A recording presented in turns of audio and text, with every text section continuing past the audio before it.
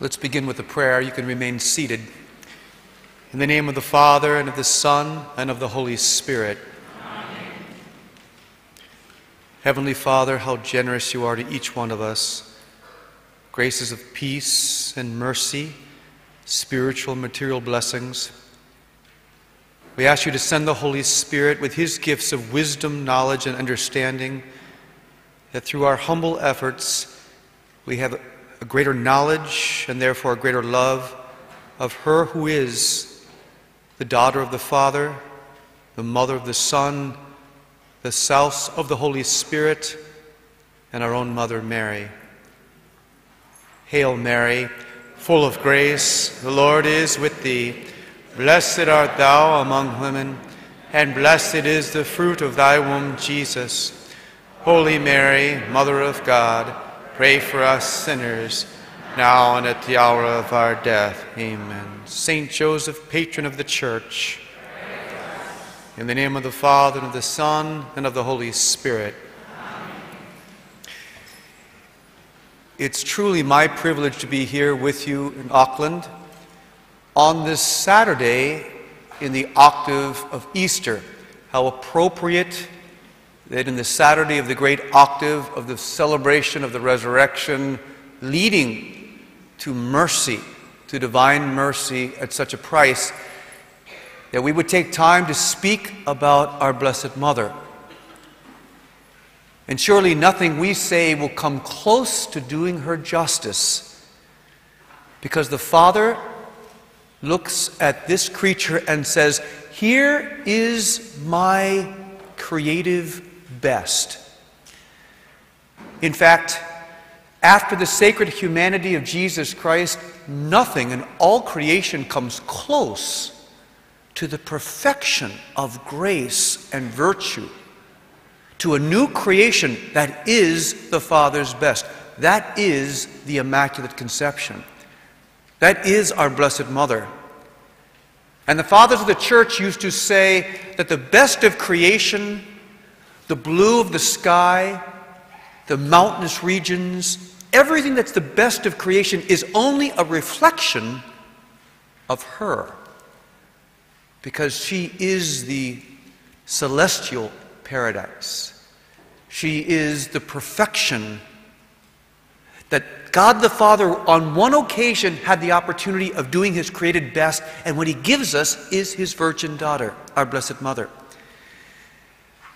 And Jesus looks upon his mother and says, This is the woman from whom I took my flesh. Fulton Sheen used to say, There's only one person that at Calvary could point up to the cross and say, This is my body. And it was first the body of Mary. Have you ever thought about the nine months when Mary was pregnant with Jesus. You know how special it is when you and I receive communion? When we have Jesus, the, the Eucharistic Jesus, inside of us? People get very excited about saying, Oh, have you had a papal audience with the Holy Father? Was it a private audience? How many times have you had a private audience? The real question is, how many times have you had a private audience with the person that the Pope is vicar of? How many times have you had a private audience with our Eucharistic Jesus? When you had the opportunity of speaking heart to sacred heart about the most intimate things of your life. And that time, right after you've received Holy Communion, is such a special time of intimacy between your heart and His sacred and Eucharistic heart. Well, imagine after Mary says yes to the angel, she has Jesus, his body, blood, soul, divinity, in her for nine months, for 24 hours a day. That's like you and me having the Blessed Sacrament, having communion in us, not just for those 10 or 15 or 20 minutes after we receive, but for nine months, 24 hours a day. But in Mary's case, in Mary's case, she starts with the perfection of grace, with an immaculate conception, with a plenitude of grace that the fathers and the doctor of the church have a tough time in finding terms to describe. From the moment Mary is conceived in grace, she has more of a participation in the Trinity than all angels and saints put together. And then, at the Annunciation, she's united with Jesus, who is in her, sanctifying her even more. And that's right. That's why the choir of the church sings that it's a wonderment of nature that a creature would give birth to her creator. That's why Jesus sees Mary and says, Mother. And that's why the great saints never separate the Sacred Heart of Jesus from the Immaculate Heart of Mary. Theologically, yes. Devotionally, in the heart, never. St. John Eudes tells us it's even better to talk about their hearts as one heart, as the one heart of Jesus and Mary, because her heart is so absolutely conformed in every possible way to his heart. And the Holy Spirit looks down upon this woman and he says, Spouse. He says, You are the one through whom the Word became flesh because I overshadowed you. And just as in the Old Testament, the Shekinah, the cloud of presence, overshadowed the Ark of the Covenant, so too at the Annunciation, the Holy Spirit, who is the cloud of presence, he overshadows Mary, and what happens? Mary becomes the new Ark of the Covenant. Mary becomes the new concrete sign of humanity's yes to divinity. Because in the Ark of the Covenant, you had the manna of the desert, you had the staff of Aaron, and in the Ark of the Covenant, you had the tablets of the Old Testament. But what do you have in Mary from the moment she says yes? You have Eucharist. You have the body, blood, soul, and divinity of Jesus. You have Jesus Christ, the perfect priest. You have Jesus Christ, the fulfillment of the law. And that's why wherever Mary goes, the Holy Spirit will follow her, will overshadow her, and miracles will happen. My friends, if anyone had a good excuse not to go, to the hill country and serve Elizabeth, it was Mary.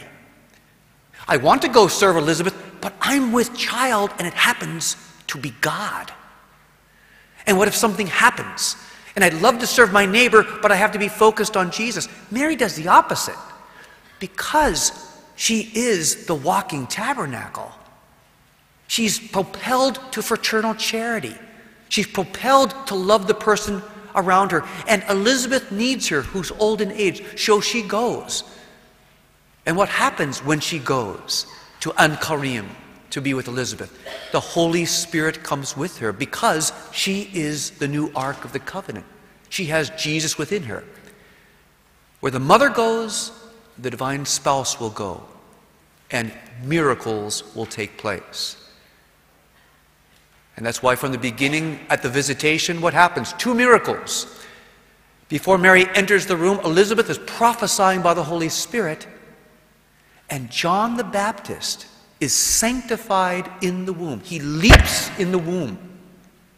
And that's why Mother Teresa was always quick to say that at the visitation, you have an interuterine communion of grace between one unborn child the God man, and another unborn child, John the Baptist. The visitation is a profoundly pro life mystery. And from the Holy Spirit, Mary too must admit and must say, All generations will call me blessed. And my friends, we have a role in that. We have a role in the ultimate fulfillment of Scripture that all generations will call her blessed. In our brief time today, I want to speak to you about two historical Marian strands of development. Two historical lines of where the truth about Mary is fed and guided by the Holy Spirit. The first strand is what we call Marian public revelation. And we're going to speak briefly about the dogmas of the church regarding Our Lady and the remaining fifth doctrine regarding Our Lady. And then we're going to speak about an intersecting strand, another strand, and that is authentic Marian private revelation.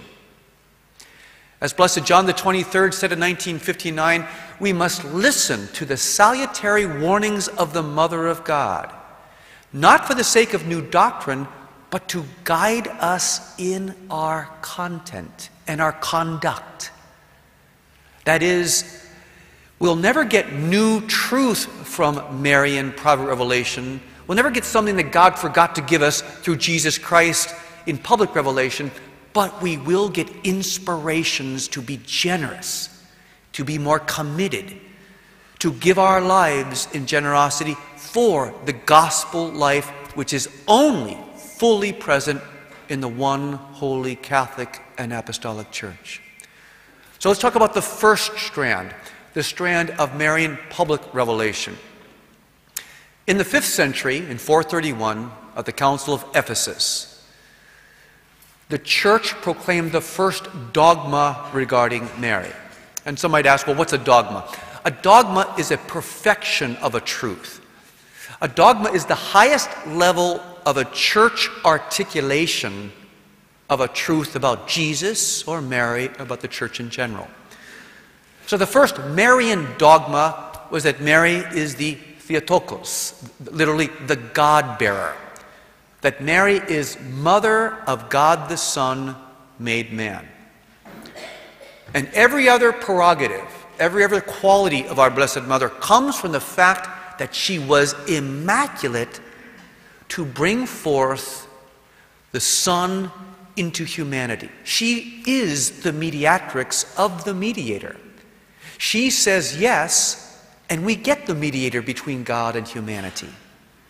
So every truth about Our Lady is focused on her service to Jesus and her incarnation role in giving God flesh. In the 7th century, in 649, we have the second dogma regarding our Blessed Mother that she is perpetually virgin. Pope St. Martin I tells us that Mary was virginal before, during, and after the birth of Jesus Christ. That's correct. When Mary says yes to the angel, she says, I know not man. And she says, I know not man, not just in the past, I have not yet known man. But as one author said, when Mary says, I know not man, she's talking about a permanent disposition of her soul. Much like someone could say, uh, Would you like a cigarette? And a person responds, No, I, I do not smoke. They're not saying, I, I don't want to smoke now. They're saying, As a permanent disposition, I don't smoke. When Mary says, I know not man, the fathers of the church rightly see she's talking about a permanent disposition that she will be the ultimate disciple of Jesus Christ. She will give him his body, her body, as well as her soul in an act of discipleship. So Mary was virginal before during and after the birth of Christ. Yes, Mary did not have later children. The reference in Scripture to the, the brethren of the Lord, adelphos in Greek, means cousins, near relatives. In no sense, in no sense can it be ascribed to Mary that she had other children. And also, in the dogma of Mary's virginity, we must remember the middle part that Mary was virginal during the birth of Christ. What does that mean? That means, as Pope Leo the Great and many of the church fathers said, that as light passes through glass without harming the glass, so too Jesus passed through the womb of Mary without any physical violation. That means that it was a miraculous birth to safeguard Mary's physical virginity. Why? Because her physical virginity is an expression in her body of her perfect interior virginity. That is the miraculous birth of Jesus Christ. We then go to the 19th century, and we have in 1854 the dogma of the Immaculate Conception by Blessed Pius IX. My friends, this dogma tells us that God the Father ordained this woman to be the perfect partner with Jesus in the acquisition of grace for the human family. Mary could not be a double agent. Mary couldn't be working with Jesus, but at the same time, she had some allegiance with Jesus' enemy, the adversary.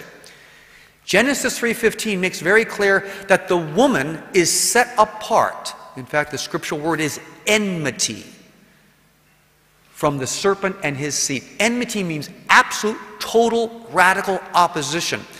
In other parts of the Old Testament, it's made reference for, for murder, for the greatest possible distance you could have from someone else. The woman had enmity with the serpent. And their seeds, the seed of the woman and the seed of the serpent, had the same opposition. That's why Pius IX tells us she is without sin. She is full of grace. And that's why years later, St. Maximilian Kolbe would say, when Mary says, I am the Immaculate Conception at places like Lourdes, what she's telling us is, I am by my nature a new creation. I am by who I am full of grace. When the angel came and said, Hail, full of grace, the Lord is with you, the Greek term for full of grace is kecharitomene, meaning you who have been fully graced as an action in the past. John Paul II tells us that the angel gave a new name to Mary. The angel, Gabriel, did not say, Hail Mary, full of grace. He He's, Hail, full of grace. You are the plenitude of grace. You are the one created by the Father to be the perfect partner with Jesus, to be the new Eve, to restore grace to the human family. You are the greatest creation. And you, as a creature, have the awesome task to accompany the divine God man to restore grace to the human family. Yes, that's what the fathers of the church meant and understood by the new Eve. The woman with Christ, the new Adam, to restore grace. And if you ever have a doubt of the omnipotence of God, that nothing is impossible with God, remember that God wanted to use the exact same means by which grace was lost a man, a woman, and a tree he wanted to use those same means because he is truly omnipotent to return grace to us. So he has a new man, Christ, the new Adam.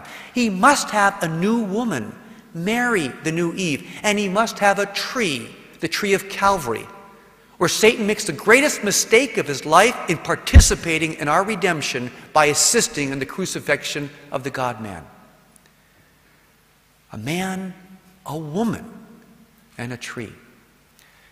And that's why authentic Christian feminism is recognizing that God wanted a woman to participate with the God man in restoring life as a woman, as a mother, in the height of her femininity, not in a misguided effort to imitate man, but in living the true beauty and dignity and goodness of what it means to be woman today as mother and as cooperator with the redemption. And so this is the Immaculate Conception. This is the woman full of grace. This is God's greatest creation. The fourth dogma in 1950 is proclaimed by Pius XII.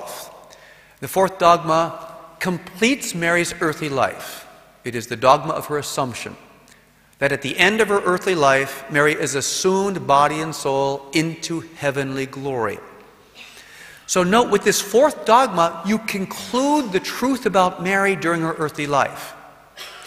Well, historically, one month after the Assumption, on December 1st, 1950, the International Mariological Society gathered in Rome and they actually petitioned Pope Pius XII and said, Now that you've defined the assumption of Our Lady, let's finish it all.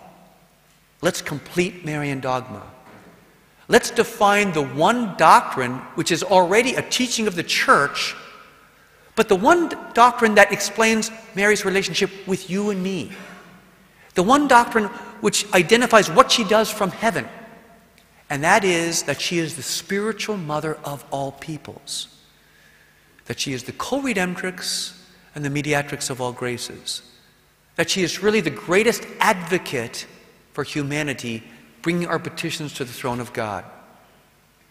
And that was a strong order to ask a Holy Father to do another definition a month after he defined the Assumption. But the logic is here. If we want to complete the fullness of truth regarding Our Lady, we must include her relationship to us as a spiritual mother. Now, some 50 years earlier, a great Belgian cardinal, Cardinal Mercier, known for his great Marian love and his great ecumenical activity, he began a process of petitioning the Holy Father at the time to make a solemn papal def- uh, definition of this very truth that Mary is your mother and my mother. That Jesus from the cross gave us as his final gift before it was finished, before consummatum est. He gave us the gift of his mother that we would have her in the midst of our Calvaries, in the midst of our sufferings, in the midst of our efforts to be true to our Lord Jesus. And he gave us his mother. And my friends, it was not an invitation, it was the establishing of a divine fact. He said, Ecce mater tua, behold your mother. He did not say, Would you like my mother as your mother? He said, Behold your mother. And this is the gift which we must live. This is the gift we must accept. And every Bible believing Christian is called to accept this biblical gift from the crucified Jesus to each one of us individually, to behold his mother as our mother. Well, Cardinal Mercier in the 1915s began to petition the Holy Father.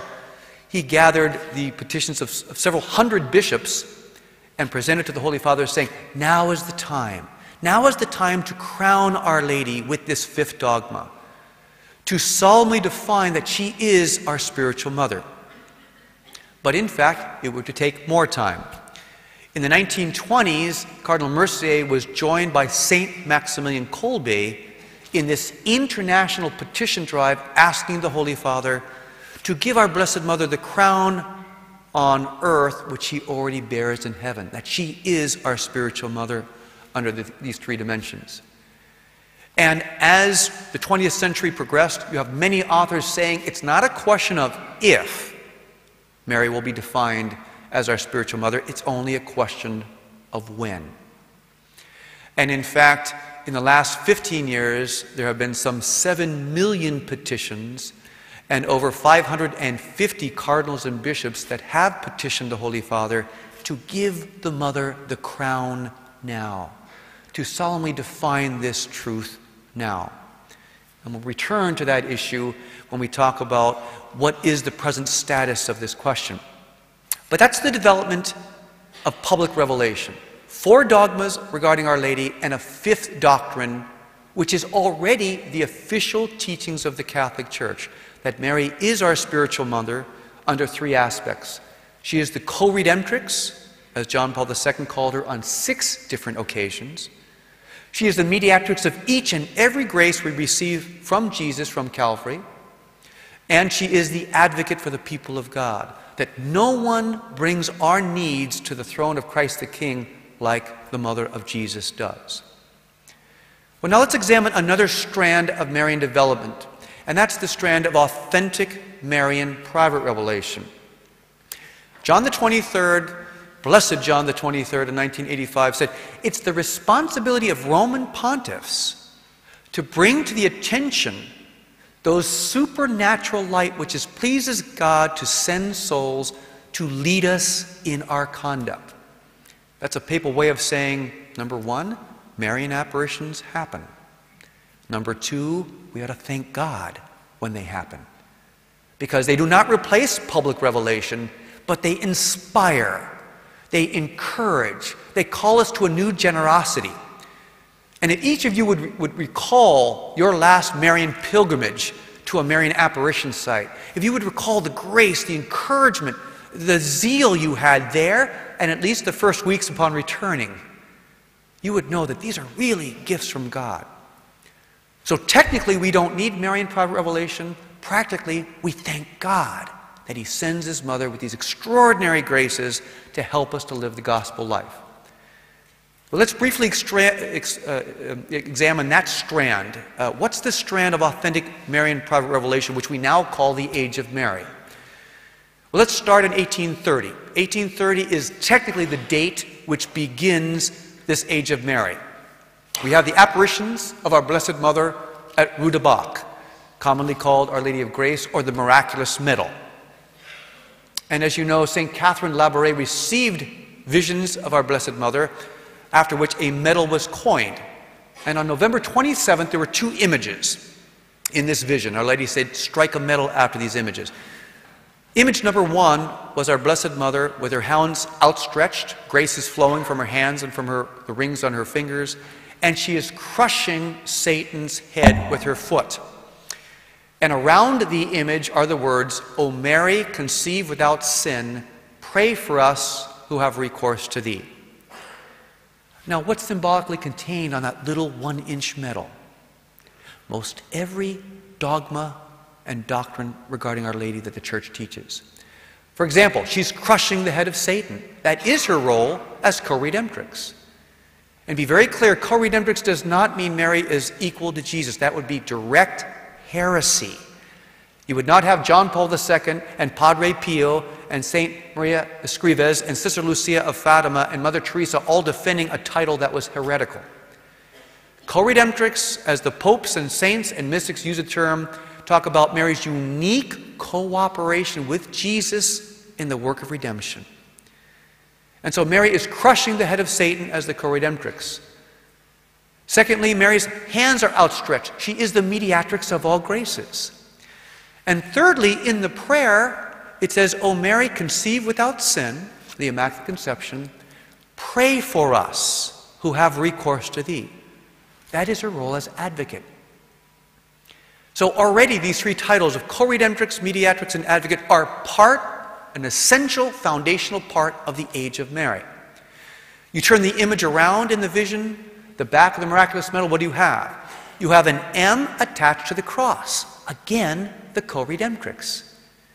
And that has to be emphasized because, my friends, John Paul II says each one of us must become co redeemers in Christ. That's right. We are called to make up what is lacking in the sufferings of Christ for the sake of his body, which is the church. Colossians 1:24. We are called to offering the sufferings, whatever's weighing you down right now, the difficulties of your family life, your marriage, your children, your occupation, economic crisis, disease, sickness, whatever it be, you can make that supernaturally valuable by uniting it with the sufferings of Jesus. Mothers used to tell their children, after they skinned their knees or fell, offer it up, honey. Offer it up, dear. And usually didn't have to accompany that with a deep theological explanation. The kid got it. I'm supposed to patiently endure this somehow. Now we're called to be co redeemers, that we can actually have a role in the release of grace to save someone else's eternal soul if we suffer well. But we need a model of human suffering and that's Mary, co redemptrix. So on the back of the medal, we have an M attached to the cross. We also have her queenship identified by the 12 stars. And we have two hearts united. And that's the heart of this entire age of Mary the Sacred Heart of Jesus and the Immaculate Heart of Mary.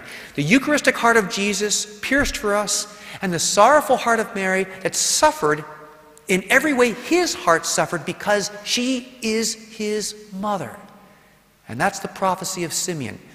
A sword shall pierce through your own heart too. We go to 1858 and we go to Our Lady of Lourdes. Our Lady of Lourdes is an apparition of the Immaculate Conception, as she identifies herself there. But Lourdes is a deep message of co redemption, meaning, once again, we are called to offer prayer and reparation for two intentions. Number one, to atone to God for the sins of humanity, and starting with our own sins. Number two, for the conversion of sinners. You see, my friends, in the mystical body, we have a great dignity, we have a great possibility. We can actually help the redemption of someone else. St. Thomas Aquinas says the angels envy each one of us. Because the angels cannot suffer in their bodies and unite it with Jesus to get someone else into heaven but you and I can in virtue of being members of the mystical body. So, what does our Blessed Mother say to Bernadette at Lourdes? What's the message? Praying the rosary by example, doing penance, penance, penance, as she repeats, to atone to God in this order of reparation. So, again, it's a call to be co redeemers. I give you this domestic example. Let's say that you have a mother and father who are very good to their five children. And let's say, sadly and unjustly, four of the five children reject their mother and father and blaspheme their love and break the commandment which calls for the proper honoring of mother and father. And they're very sad and they're heartbroken. But let's say the fifth child, the smallest child, comes up and says, Mommy and Daddy, don't listen to them. It's not true. You're a good mother and a good father, and I love you with all my heart. What a balm that is to the injustice of the other four children. Well, my friends, we are supposed to be that little child. We're supposed to be the fifth child that says to the hearts of Jesus and Mary, what others say about you, those who deny God, those who reject the teachings of the church, those who dissent from the moral teachings, those who reject the love of the Blessed Mother, it's unjust, it's untrue. And I, with my little heart, say, I love you. And I want to balm your hearts with my little heart. That, my friends, is the call of reparation. And each one of us have the call to offer reparation for the sins of humanity in a special way to the hearts of Jesus and Mary. So, Lourdes is a call of prayer, penance, and reparation. And in 1917, the call of reparation and consecration continues powerfully with the message of Fatima. In many ways, the Fatima message represents the foundational message of the 20th century of our Blessed Mother. And what does she call for at Fatima? She calls for consecration to her Immaculate Heart. She calls for daily rosary for peace in the world. She makes reference of the five first Saturdays of reparation, where every first Saturday we are called to offer communion, confession, five decades of the rosary, and 15 minutes of meditation, all with the intention of offering reparation to the Immaculate Heart of Mary. Why? Because the child Jesus and our Blessed Mother both identify as Mary holds her heart out and shows it to Sister Lucia Fatima. Look at my heart, which is wounded at every moment by the ingratitude of humanity. You, at least, try to make reparation to this heart. And that's why it's so important that the five first Saturdays are done in reparation to the Immaculate Heart of Mary. And to that, the mediatrix of all graces gives the promise of salvation. Grace is necessary for salvation for five first Saturdays. But there's also a very strong message of co redemption in the Fatima message.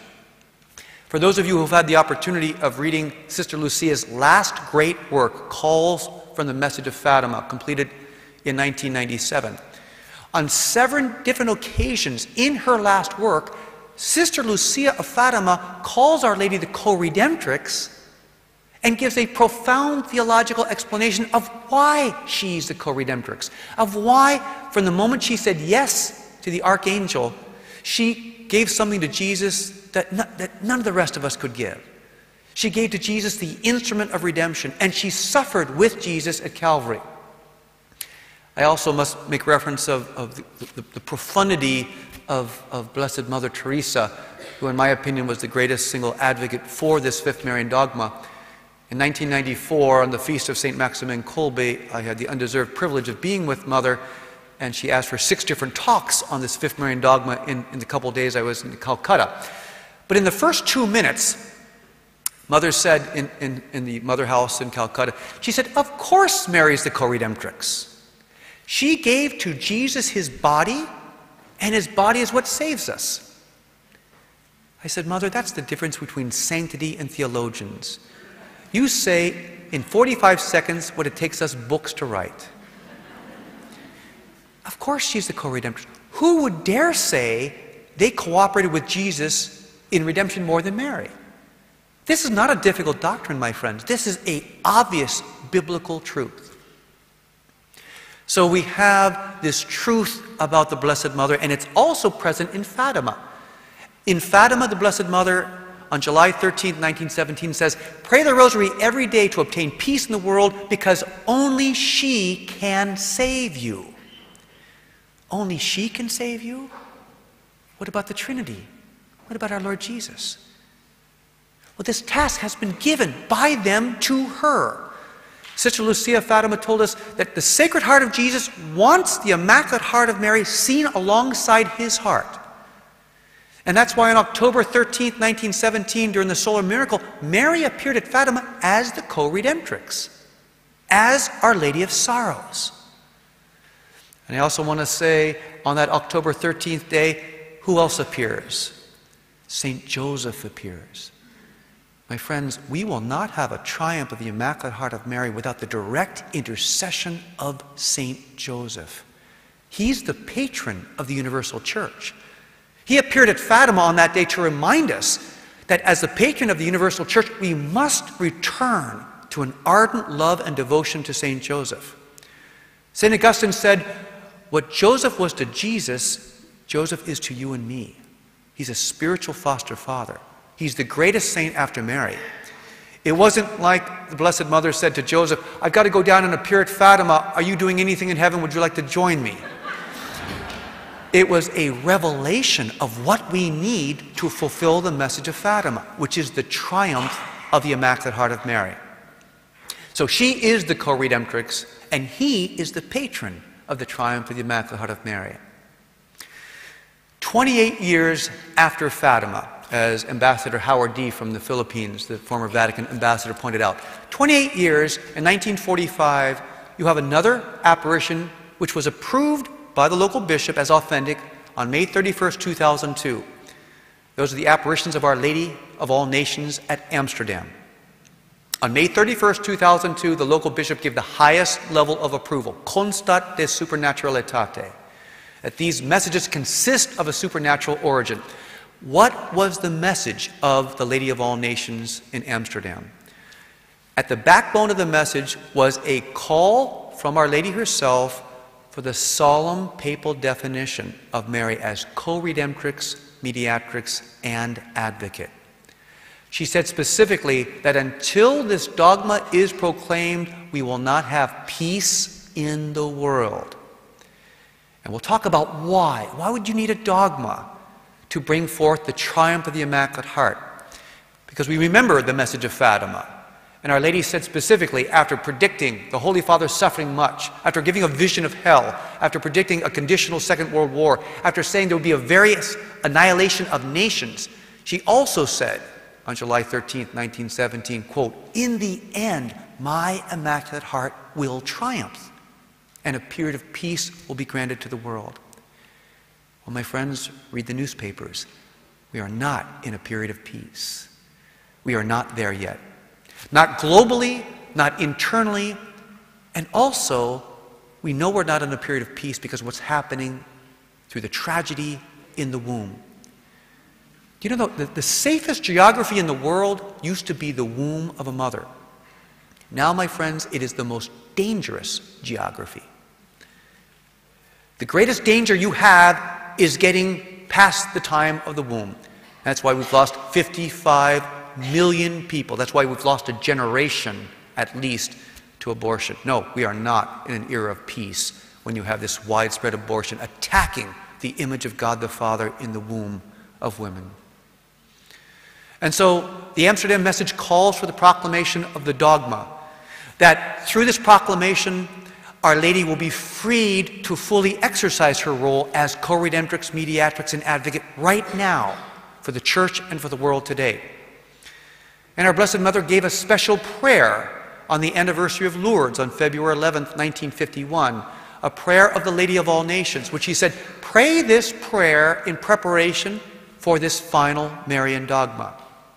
And it's a beautiful prayer to the Holy Spirit, asking Jesus to send the Holy Spirit into each heart. Uh, you can receive the prayer, you can go on Google and put in Lady of All Nations. You can go to fifthmariandogma.com. You can go to ladyofallnations.com. It's, it's throughout the internet.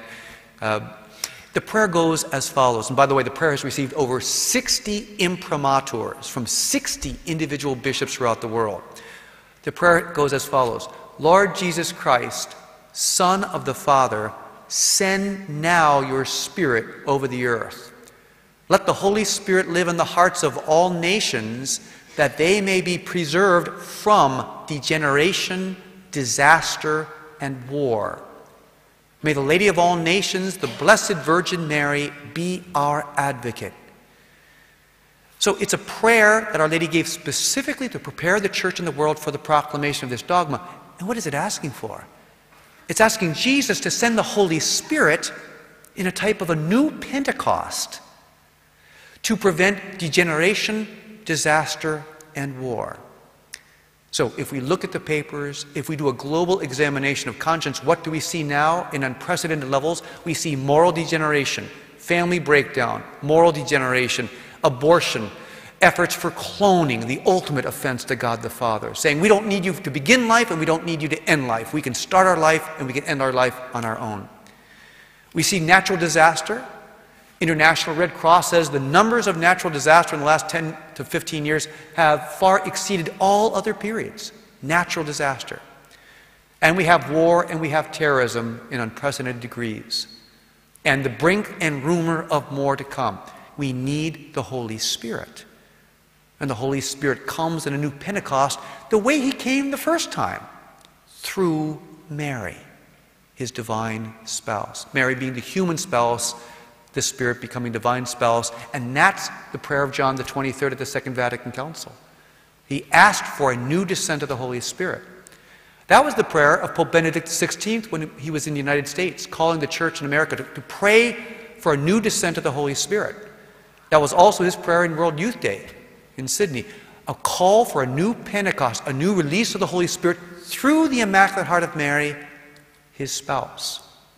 And that's the message of Amsterdam that when the lady is proclaimed as co redemptrix, mediatrix, and advocate, the Holy Spirit will be able to enter the church and the world like never before since the first Pentecost. 28 years from Amsterdam, 1945, we go to Akita, Japan, 1973.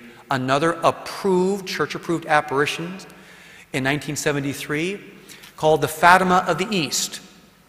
In Akita, we have a series of apparitions and weepings, lacrimations as they're technically called. And it was a statue of the Lady of All Nations from Amsterdam, the image coming from Amsterdam, that wept 101 times in Akita, Japan, in a Japanese convent to Sister uh, Agnes Sasagawa, one of the religious sisters there, who was deaf when these apparitions began. And what was Our Lady's message? Well, the bishop who approved Akita, Bishop John Ito, said, Akita is a continuation of Amsterdam. And that's clear because the image is the image of Our Lady of All Nations, which is the image of our Blessed Mother uh, in front of the cross with her arms outstretched. And in this 101 times of lacrimations, Our Lady said, and Lady reveals that she is in pain. She is in mystical sorrow for the sufferings of humanity. This should not be a surprise to us, my friends. Imagine if you were the mother of humanity right now. Imagine if you saw and experienced every abortion, you saw every act of human trafficking, you saw every family breakdown, you saw every infidelity, you saw every time a priest or religious was not true to their vows, you would be crying too. The mother sees it all.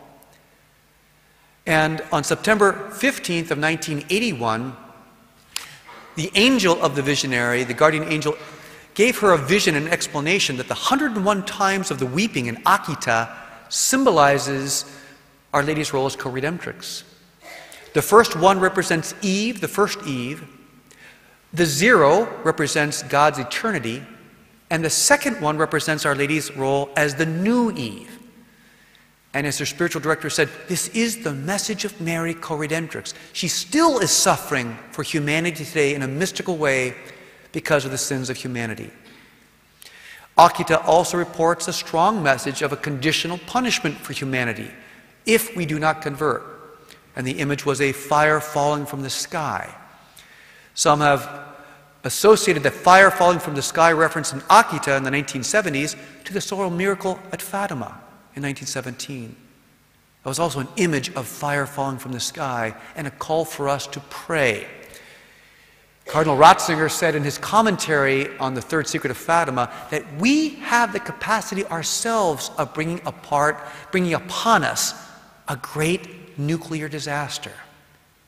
That the message of Fatima is more relevant to us today than ever before. And so Akita continues this call for Our Lady Co-Redemptrix and for the acknowledgement of this role of Mary as Co-Redemptrix. Now I've understood that New Zealand is also a land rich in its love of Our Lady of Medjugorje. Is that correct? Is I wanted to just say a quick reference about Our Lady of Medjugorje, which actually begins in 1981 when Akita ends. Let me start by mentioning the position of the church regarding Medjugorje. If you hear that Medjugorje is condemned, if you hear that you cannot go to Medjugorje uh, because the local bishop is opposed. Uh, both those things, sadly, are inaccurate. The official position of the church regarding Medjugorje, as clarified by Archbishop Bertone, who was the secretary under Cardinal Ratzinger in 1998 from the Congregation for the Doctrine of Faith, he established that the 1991 Zadar statement, which was the statement of the Yugoslavian uh, Episcopal Conference in 1991, established that while the church does not yet approve Medjugorje, it does not condemn Medjugorje, and pilgrims may faithfully go to Medjugorje with an open heart. So pilgrimages to Medjugorje are absolutely allowed by the church, and we always wait for the final definitive judgment of the church, but it is the congregation's own statement that people can go to Medjugorje, so we always rest with the church. What is Medjugorje right now? Medjugorje is Mary co-redemptrix, mediatrix, and advocate in action. In action. She suffers for us, as she said in her messages. When we sin, she suffers. She is the mediatrix between Jesus and humanity. She says that in her message as well. She is the ultimate advocate, intercessor on our behalf. That's why she's pleading for prayers, for fastings, for rosaries, for peace, a spiritual peace of heart which will become a peace globally if we cooperate. So, authentic Marian private revelation only confirms what we see in the line of development leading for this fifth Marian dogma. So, I want to say one other brief word about these three roles of co redemptrix, mediatrix, and advocate. Number one, they are already, once again, the official teachings of the Church's magisterium. Our Lady as co-redemptrix, and by the way, the prefix co in Latin comes from the word cum. It means with, not equal. Mary is with Jesus in the work of redemption. She is never equal. Nothing would pierce her immaculate heart more than for anyone to think she was equal to her son. Her son is divine, she is not. But she cooperates like no one else in this redemption. Scripture attests to this truth. Luke 138, Mary says yes to the angel and she brings to us the Redeemer of the world. That's already a cooperation none of us could boast. Luke 2:35, the prophecy of Simeon. Simeon basically says, "Your son will be a sign of contradiction for the world, and your heart too will be pierced." Someone called me on, on a radio program recently and said, I don't know why people have such a problem with Mary Co-Redemptrix. My daughter had an operation two months ago, it was life-threatening operation. It would have been easier for me to be operated on than to be in the waiting room. Easier. And parents will attest to this. We'd rather suffer ourselves than, than know and see the sufferings of a loved one. That's Mary Co-Redemptrix. Where's the mystery? And it's scripturally verified that Mary's unique suffering, in the words of Simeon, would add to the secret thoughts of many being laid bare. That's the work of redemption. In John 19, 26, John Paul II says that Mary is spiritually crucified with her crucified son as the co-redemptrix. And her role as co-redemptrix does not cease with the glorification of her son.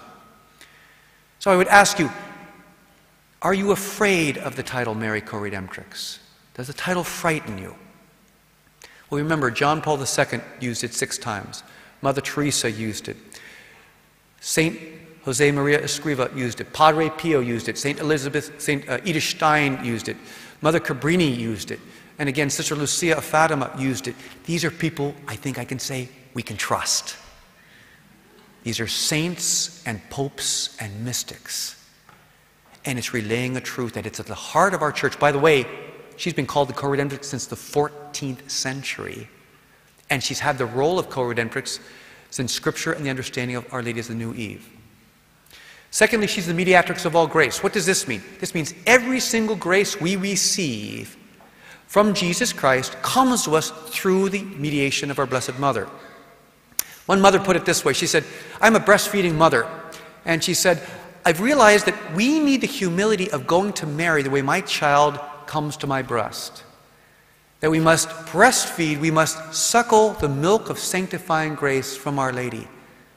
And we have to keep humble as children, knowing we need that role. Again, Scripture attests that she's the mediatrix of all grace. She says yes to the angel, and what happens? She mediates to us, the mediator of the world. She is also mediatrix of all graces at Cana. And the first reading of Cana can be confusing at times. Mary brings the intention to Jesus, and we know Scripture says, Woman, what is this to you and to me? My hour has not yet come.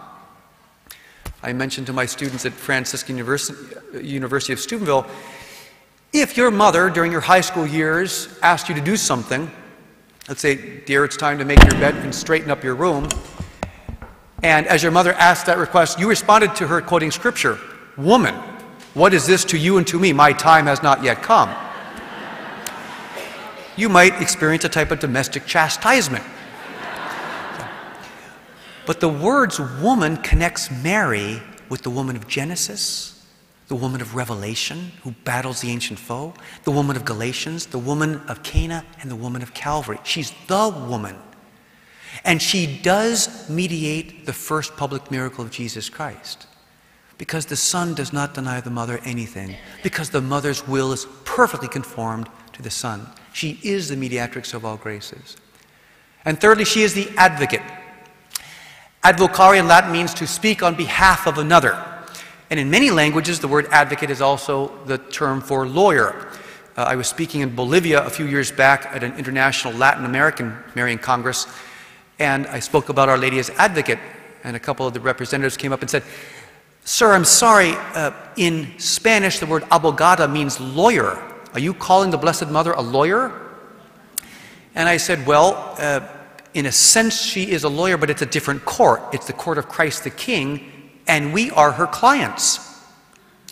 When I mentioned that explanation to a lawyer in Texas, uh, after my presentation, he came up and said, Son, here's $1,000 for your movement. I've been a lawyer for 40 years and never compared to the Blessed Mother. That's how Catholic Texans show their devotion. Uh, at any rate, of course, she's our principal advocate, and this comes out of the Old Testament. She's the Queen Mother. She's the Queen Mother in the kingdom of God. Uh, and I know in my own family life with, with eight children, if my children come up and ask dad for something, I say, oh, honey, I don't know if this is the right time. I don't know if we have time. But if it comes from my wife, who is the Queen Mother, the invitation takes on a whole different nature. I need a very good reason to say no. St. Louis de Montfort says, It's the peasant who wants to give his fruit to the king. And he goes and he takes his best apples, but they're still just apples. But if the queen takes them and the queen puts them on her golden platter, and the queen adorns those apples, and the queen presents the apples to the king in her name, oh, they take on a luster, a beauty. That's what the mother does for us, for our petitions. So she is the co redemptrix, mediatrix, and advocate. And why do we need a dogma? Why would I encourage you to join the 7 million people who have sent their petitions? That's over 168 countries who have sent their petitions to the Holy Father. And why, even more than sending a petition, do I encourage you to pray for the dogma daily? Because, my friends, her titles are her functions. That means co redemptrix, mediatrix, and advocate are not just honorary titles, those are her functions given by God for humanity. But God the Father gives us a very important ground rule, and that is you cannot force grace. People have to freely accept it. And so when we pray for this solemn definition, when we do our part to bring forward scripture that all generations will call her blessed, when we pray daily for the fifth Marian dogma in our masses, in our rosaries, When we pray the prayer that Our Lady specifically gave, the prayer of the Lady of all nations for the fifth Marian dogma, we are adding to releasing her. We're acknowledging her role in freedom so she can fully exercise those functions for humanity today. So, yeah, it's a matter of freedom. As one author said, God the Father waited for a yes of a 15 year old girl to bring us the Savior. Now we wait, and she waits for the yes of the Holy Father to be fully released so she can fully exercise her powers of intercession for the world today. So I encourage you in every Mass, in every rosary, adding the words, pray for the dogma, pray for the fifth Marian dogma. If you can get the prayer of the Lady of all nations, that's powerful because it was given by Our Lady herself. But let's do our part to release her because, as she says, no dogma, no triumph of the Immaculate Heart. With the proclamation of the dogma, she is fully free to fully exercise her functions for humanity.